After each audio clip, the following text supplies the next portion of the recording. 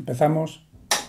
¿Qué criterios se utilizan en tu organización para otorgar las promociones, asignar selecciones internas o establecer los planes de desarrollo de los empleados? Las personas que trabajamos en gestión del talento necesitamos alguna referencia que nos dé información de calidad para poder tomar esas decisiones. Una de las herramientas que nos permiten valorar óptimamente el desempeño y también el potencial es la matriz de talento. Aquí tenemos un ejemplo del aspecto que tiene una matriz de talento.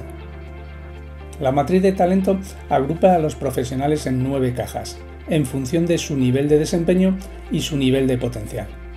Efectivamente, se trata de una simplificación, pero que te puede ayudar a tomar decisiones sobre la trayectoria, la evaluación y el posicionamiento de las personas dentro de tu organización.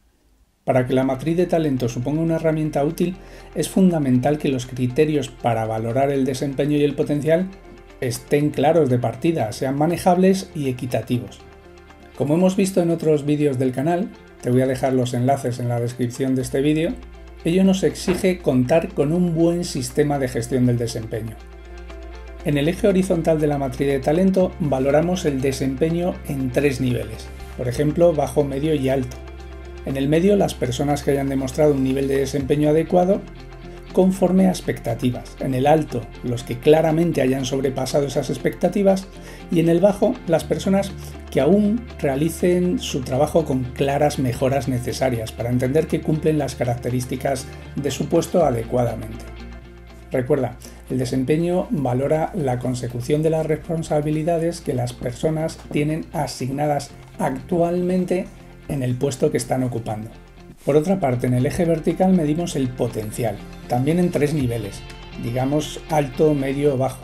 Por potencial entendemos las capacidades para ocupar puestos de mayor responsabilidad dentro de la organización. En gran medida van a depender, lógicamente, de las competencias personales, aspectos tales como la visión de negocio, la orientación al cliente o la capacidad de gestión de equipos. A partir de aquí surgen nueve cajas.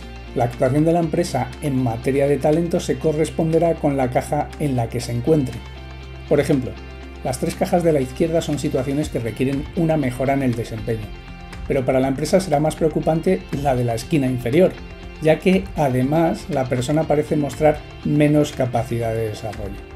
Sin embargo, las tres cajas de la derecha corresponden a personas que parecen estar plenamente adaptados a su puesto actual. Además, las personas en la caja superior muestran un potencial alto, por lo que en principio puede tratarse de los candidatos a directivos de la empresa en un futuro próximo. Parece claro que las distintas políticas de desarrollo del talento de la empresa tendrán que tener en cuenta esta clasificación. Así, por ejemplo, la formación deberá ir enfocada a conseguir que las personas desarrollen sus competencias tanto técnicas como personales. Y de esa manera estemos potenciando su desempeño actual, pero también su potencial futuro. Para el plan de sustituciones, la medición del potencial estará estimando cuál es la oferta de talento dentro de la empresa para cubrir las demandas o necesidades de nuevos puestos o de sustituciones en un futuro próximo. La remuneración, entre otras cuestiones, deberá tener en cuenta el reconocimiento al desempeño óptimo y también al potencial de desarrollo de las personas para un futuro dentro de la organización con el objeto de fidelizarlas. Y la movilidad interna y la promoción lógicamente darán prioridad a aquellas personas que se encuentran en esta matriz de talento más a la derecha y más arriba.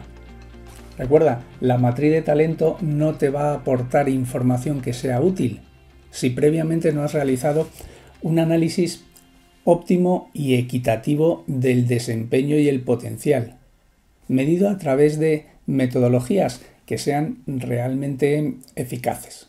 Aquí te dejo el enlace a otros dos vídeos anteriormente publicados que muestran cómo realizar una evaluación del desempeño y del potencial óptimos en tu organización.